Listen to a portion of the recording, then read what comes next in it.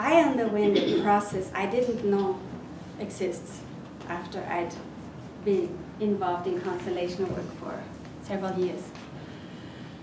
What happened for me when I was operating in the field as a facilitator, you also know that if you are a participant, you have to allow yourself to be guided, right? You go in, you have no idea who you're representing, and suddenly something starts happening in your body. You get angry or scared or you collapse, right? Something starts happening in you. As a facilitator, I have to be completely empty, like in a way you are as well when you participate as a, as a, as a representative. But I have to be more so empty because I have to be like a channel for the entire family field. So I have to be open to, if somebody collapses on the floor, be able to hear what might it mean, what other information may be needed, um, who else would we need from the family system to be brought in to assist in the healing. You, you, you, you know how the, how the constellation unfolds. So as a facilitator, I'm like this empty channel to to the family system to be guided in each moment as far as what to do because I have no idea how I am going to help somebody, right? It's completely unknown to me how many generations back an issue may have happened.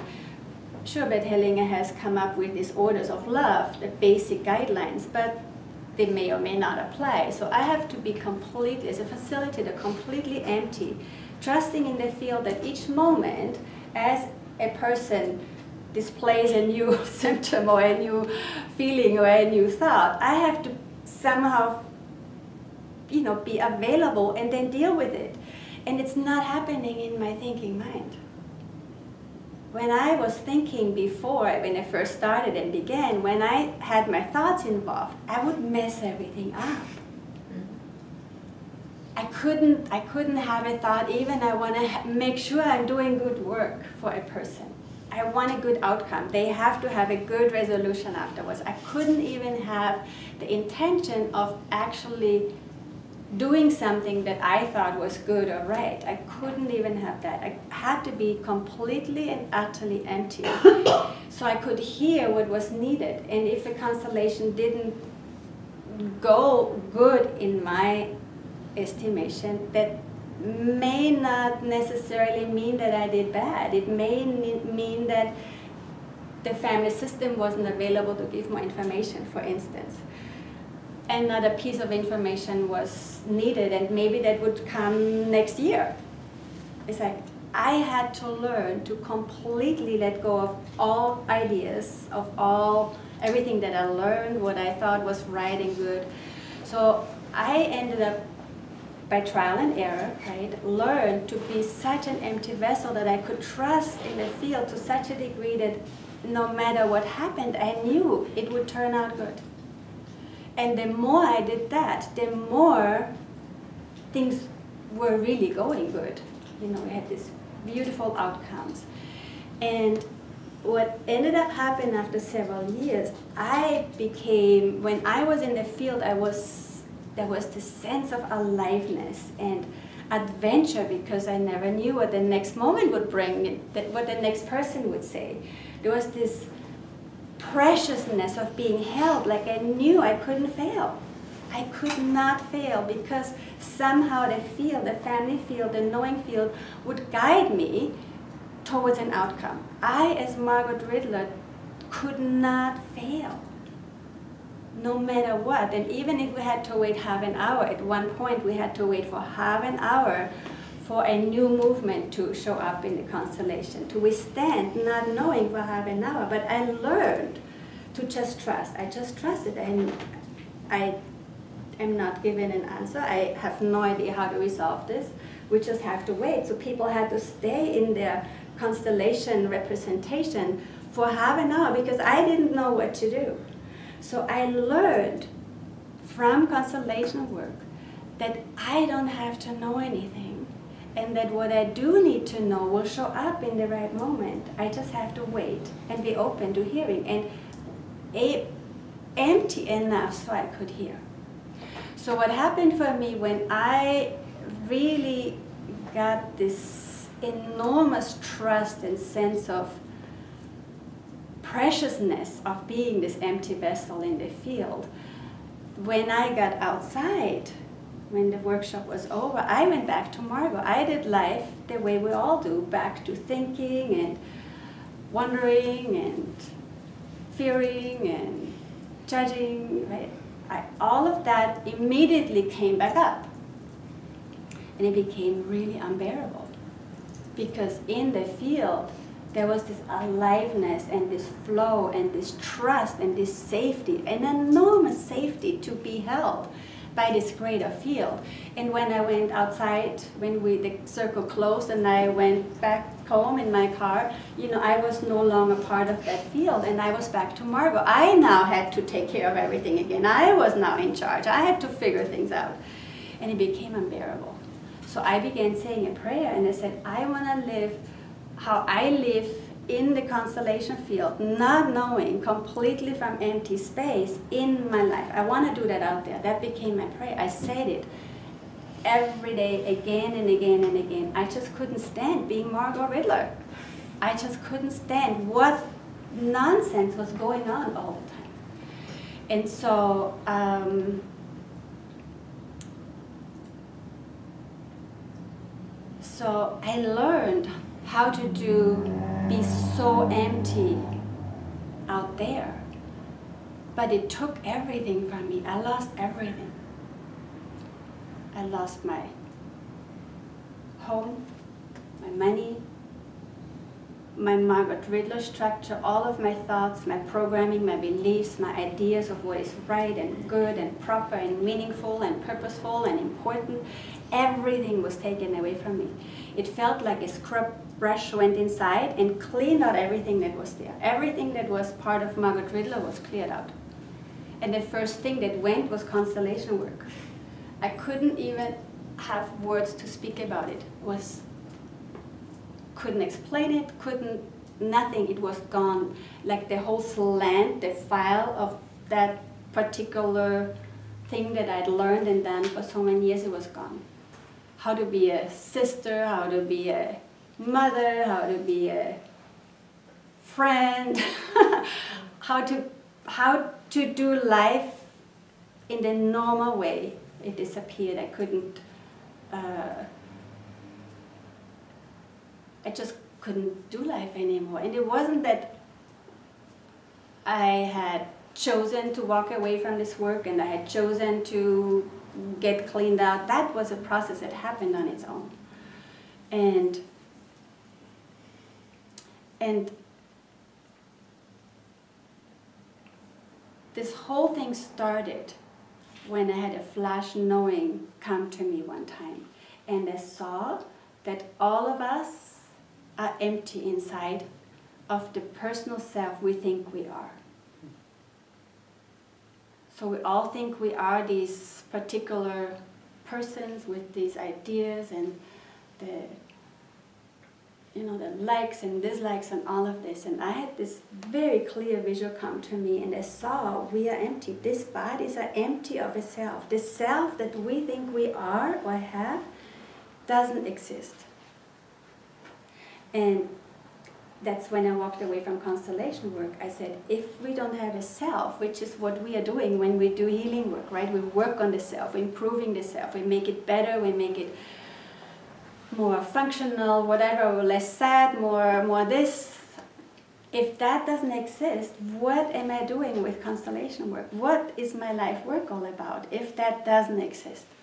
So I walked away from one day to the next, really. I just couldn't. My conscience didn't allow me to continue saying, yes, I can help you improve yourself when I knew there wasn't a self.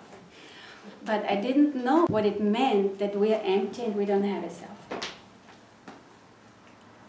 So um, two years into this emptying out process, I uh, by then I was basically completely homeless.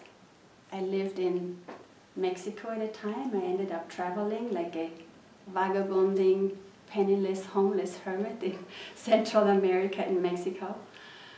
And um, I'm just sharing this story with you, not that this should or might happen to you. I am coming back to tell you my learning. Yes, because there's a learning in what I went through.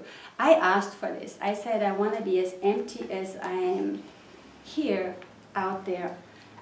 And I learned what is required. I had to go through this process, but I asked for it. Only later did I remember that I'd asked for it. But I became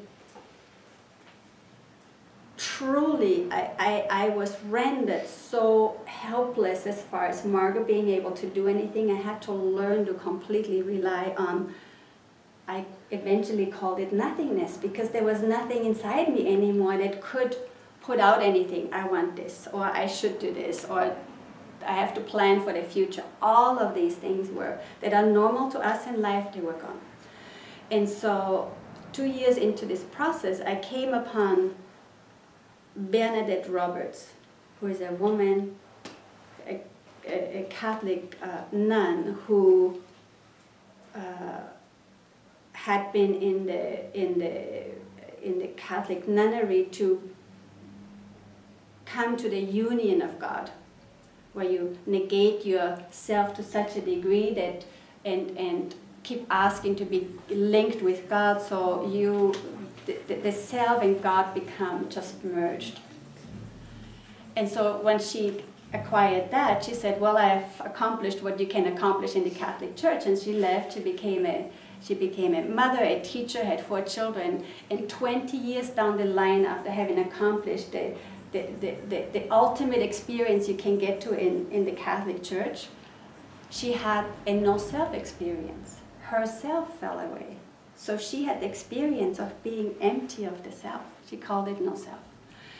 And when I read that, it's like, oh, that's what's happened to me. I am living her experience. I had no words. I couldn't, I couldn't name it. I couldn't put any, I couldn't make sense of it.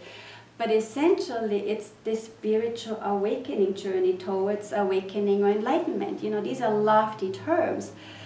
But they are not lofty because we can actually live this.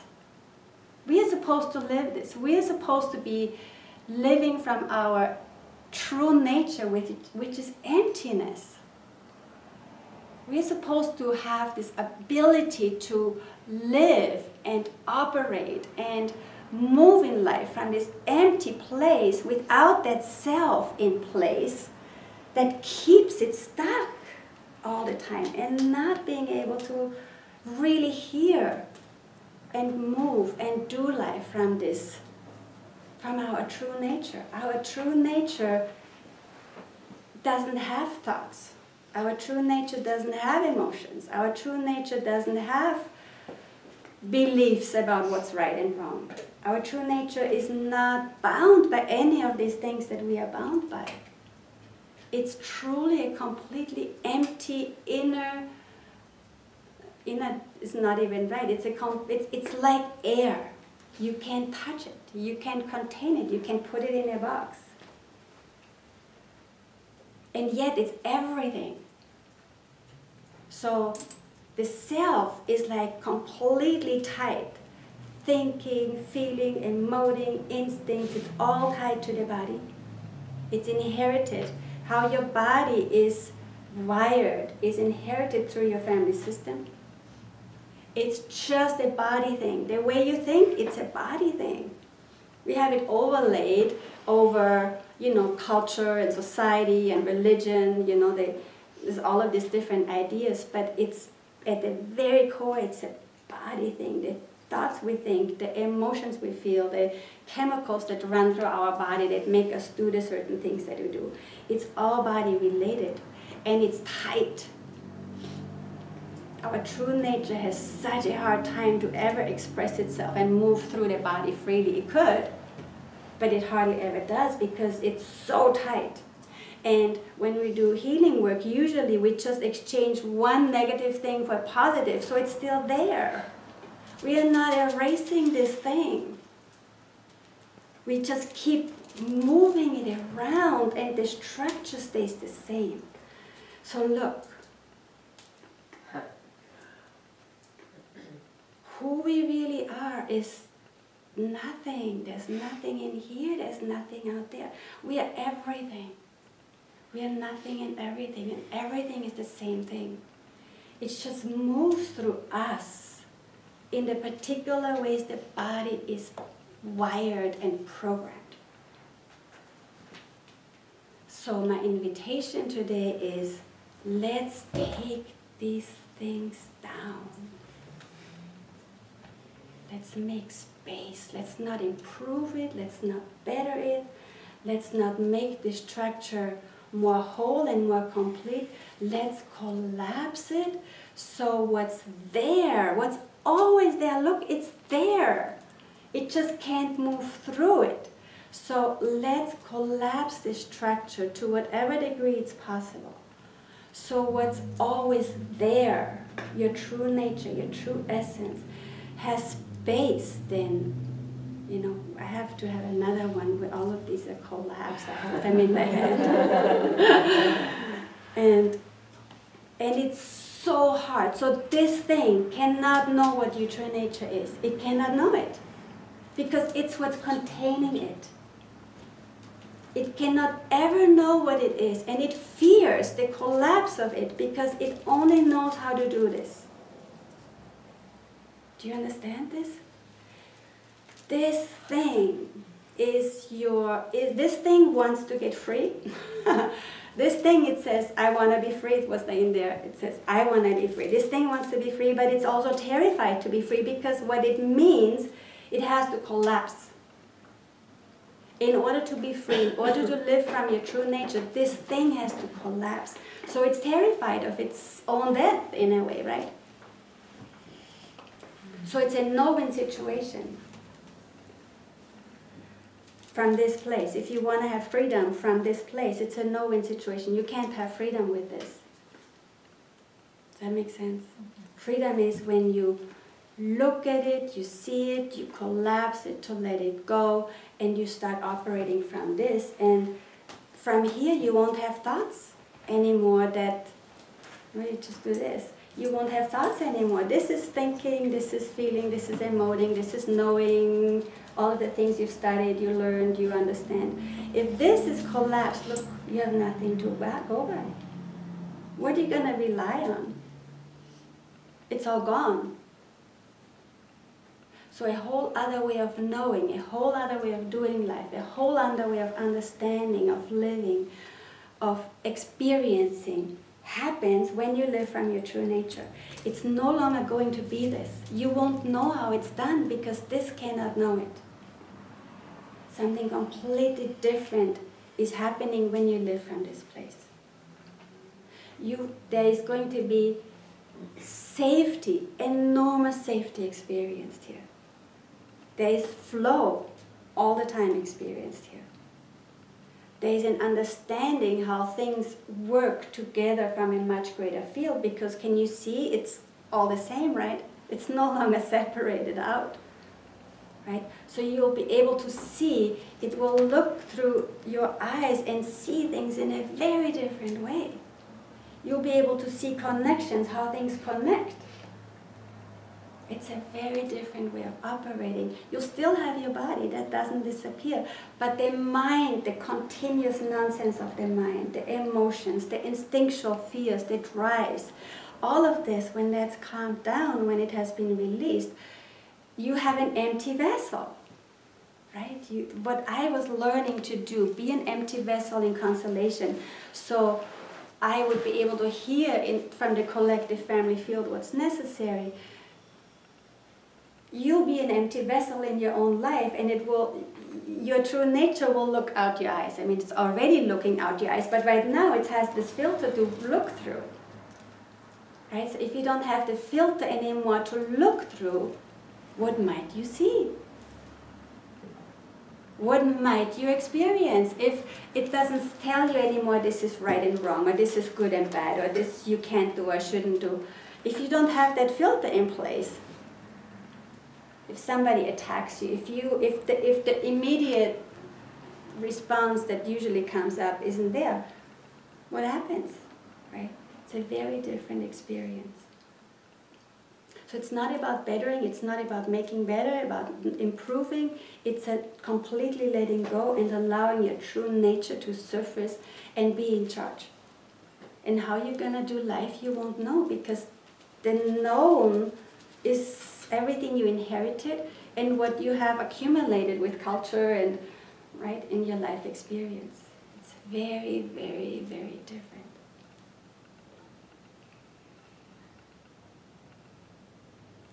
So constellation work hasn't evolved for me because I don't do it very much. What we're gonna do today is whatever Margot has always done. but I'll bring my awareness to the table. So we'll see what unfolds.